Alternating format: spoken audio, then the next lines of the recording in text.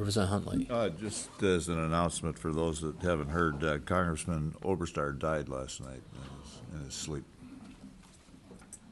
So sorry to, yeah, I heard that a couple hours ago, and sorry to hear that. Obviously, he did huge amounts for the state of Minnesota, to say the least.